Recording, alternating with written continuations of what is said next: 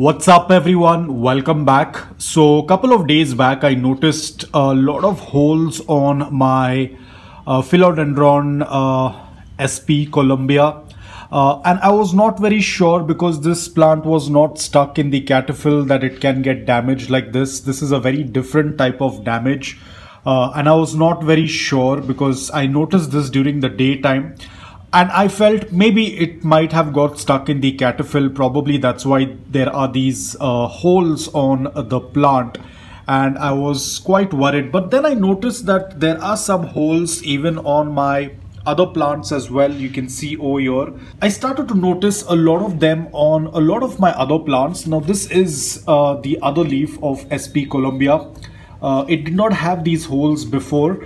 But uh, it started to show up even on my gloriosum as well and I knew that there is a culprit behind this. Now of course during the daytime this is not going to be visible but now during the night time I was just checking and this is the culprit here as you can see it has also uh, eaten uh, my philodendron orange splendor.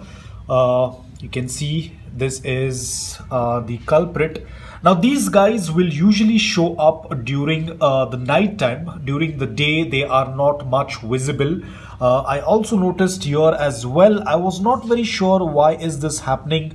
Uh, but today I happen to notice and this is the second one. I have already taken out the first one. So I think most probably there are a couple more of them which I will have to uh, search all of them because otherwise they will end up making a lot of holes on all of my plant leaves. So this is the second one. I will put up the image of the first one that I took out. Uh, so this is the second one and probably I'll have to do a little bit more of uh, checking. Uh, probably there would be a bunch of them which uh, will slowly start to emerge as uh, the night progresses because these tend to usually come out during the night. Most of the caterpillars, uh, they usually start their attack at the night time. Uh, so we will have to check all of the plants in and around.